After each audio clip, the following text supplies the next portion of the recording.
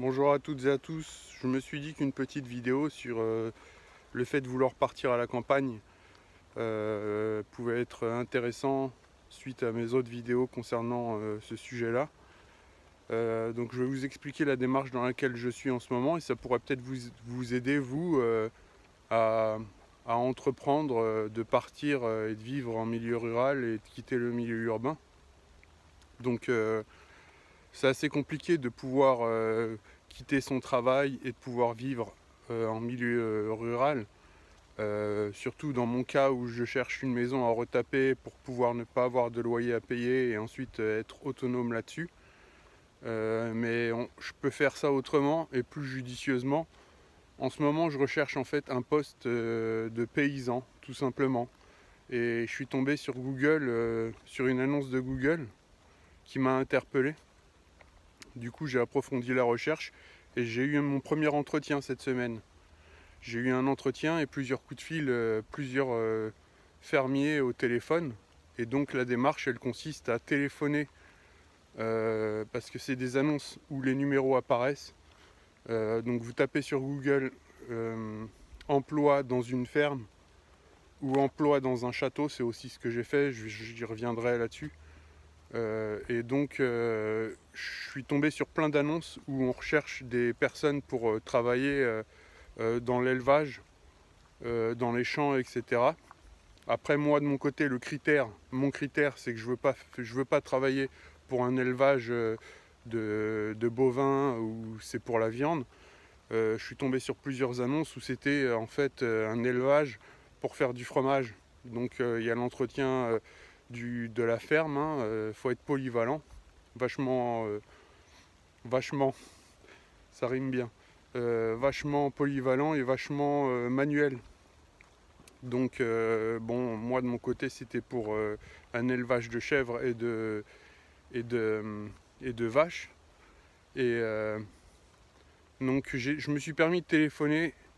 L'annonce qui m'a tapé dans l'œil en fait, c'est qu'il proposait le logement. Voilà, donc là, on est tout de suite dans, le déménagement. quand, on, fait du télétravail, on peut emmener son travail à la campagne. Mais quand on est manuel comme moi, qu'on fait des trucs euh, chez les particuliers, moi mon boulot c'est jardinier chez les particuliers, euh, c'est différent. Si je pars et que je me fais ensuite une clientèle, ça va prendre un certain temps. Euh, les revenus, ils vont pas être garantis, etc. Alors que là, j'ai CDI au bout de trois mois, donc au bout de trois mois, je peux faire un crédit pour une maison. Une maison, euh, ce qui fait qu'en fait, les quelques économies que j'ai, je peux les garder pour euh, justement euh, être à l'aise là-bas. donc mon premier entretien, il s'est passé il y a deux jours là. C'était c'était le gars était sympa parce qu'il est venu chercher un tracteur à Orléans donc il m'a fixé rendez-vous à Orléans. Et, et c'est pour travailler derrière Nantes, entre Nantes et la mer. Donc euh, le cadre est sympa, c'est la Vendée. Euh, donc voilà, donc euh, j'ai pu lui parler, lui, lui dire que moi le travail qui me plaît, c'est le travail en lien avec la terre et les animaux, tout ce qui touche la nature. Hein. Et je lui ai expliqué ma motivation, je lui ai donné un CV quand même, 3-4 euh, jours avant euh, par mail. Et euh, donc voilà, ça s'est fait très rapidement. Ensuite, lui ainsi que les trois autres personnes que j'ai que j'ai eues au téléphone m'ont confirmé, m'ont dit que de toute façon dans ce secteur-là, il n'y avait pas besoin réellement de diplôme, que ça recrutait vraiment beaucoup, surtout en ce moment, pour préparer la saison. Et euh, donc bon, après, euh, ce qu'il faut, c'est le CDI, quoi. C'est le CDI pour pouvoir être autonome euh, au niveau du logement, parce que bien évidemment, ils nous hébergent, mais ça fait pas tout, quoi. je veux dire, il y a quand même une déduction sur la paye, du coup. Il pleut là, donc j'espère que le réticule n'est pas trop mouillé. Donc, CDI au bout de trois mois. Et et donc ça permet de, pouvoir euh, s'installer. Sinon, loyer des, appartements euh, pour, euh, pour un studio ou un F2, c'est vraiment pas grand chose. Hein. on avoisine les, 250 euros, entre 250 et 400 euros pour un AF2. Euh, c'est vraiment, vraiment des prix qui n'ont rien à voir avec ceux qu'on connaît en Ile-de-France. Donc voilà, ça c'est le. Et avant, avant de pouvoir. Avant d'être tombé sur ces annonces-là, en fait, j'avais tapé tout simplement emploi dans un château. Parce que travailler dans un château, en fait, on est bien rémunéré. Et c'est euh, l'entretien en fait du domaine, donc plusieurs hectares, plus euh, des bâtisses. Il faut être polyvalent, pareil, être minutieux, tout ça. Et euh, moi ça me convient, c'est dans mes cordes, donc et puis ça me plaît, donc donc c'est pareil. Je suis tombé sur une annonce qui était un, château viticole à Bordeaux. Donc ça fait loin, hein. là c'est complètement à l'opposé de, chez moi. Et pareil, donc logement, logement fourni, 2500 euros par mois. Et euh, là, c'est le top. Hein. Enfin, c'est le top. Je veux dire, euh, ils ne demandent pas réellement de diplôme. Il, faut vraiment être impliqué dans, dans le truc. Euh, la motivation, de toute façon, ils la verront. Hein. Ils verront la manière dont, déjà lors de l'entretien, il faut, montrer qu'on est motivé et tout. Et puis ensuite, ensuite je veux dire, il faut taper dedans, quoi. Faire les choses.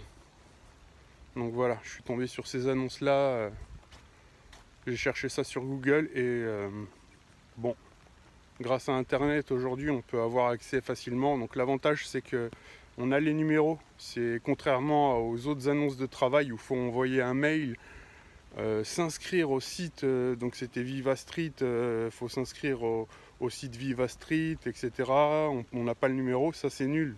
C'est enfin c'est nul. C'est juste que c'est chiant quoi de, devoir déjà faire une inscription, remettre un nouveau code, euh, ceci, cela pour avoir accès à des, annonces et pouvoir postuler. Ça, ça m'intéresse pas. C'est vraiment, euh, c'est pas mon truc quoi. Euh, alors que sur les annonces pour être employé paysan, employé paysan, employé dans une ferme, employé polyvalent, et bah on a tout de suite les numéros et ça permet d'avoir tout de suite le fermier au téléphone et d'expliquer tout de suite sa motivation et la situation dans laquelle on est. Donc c'est-à-dire vouloir partir travailler au contact de la terre et des animaux parce que c'est notre passion et qu'on ne pourra pas être logé euh, ou qu'il faudra qu'on ait un CDI assez rapidement pour pouvoir euh, être autonome au niveau du logement. Donc voilà. Donc avoir le numéro de téléphone comme ça c'est vraiment le top. Moi, j'ai déjà passé trois ou quatre coups de fil et à chaque fois c'était positif parce qu'ils l'ont entendu de toute façon au téléphone. Hein. j'ai parlé de, de ce que je faisais, de ce que je veux faire.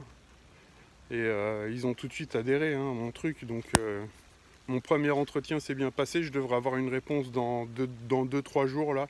Ils m'ont dit en fin de semaine. On est jeudi donc euh, je pense que samedi ou dimanche je devrais avoir une réponse. C'est pour remplacer une personne. Euh, et, au final, ce serait pour éventuellement devenir, euh, pas associé, mais euh, je sais plus comment ils appellent ça. Si, je crois que c'est associé en fait. Ils sont plusieurs à être associés pour faire vivre la ferme. Donc, vous retrouverez souvent cette situation-là pour remplacement à cause de départ pour la retraite. Euh, donc si vous, si vous voulez partir rapidement à la campagne, c'est une solution. C'est une solution, ça vous permet tout de suite d'avoir un emploi, ce qui est une garantie, et ensuite de faire, euh, de faire aux alentours de la ferme votre vie. Enfin aux alentours, si vous êtes véhiculé, vous pouvez, euh, vous pouvez même faire 40 ou 50 km pour aller au boulot. Hein. C'est la campagne, c'est plus les bouchons parisiens. Hein.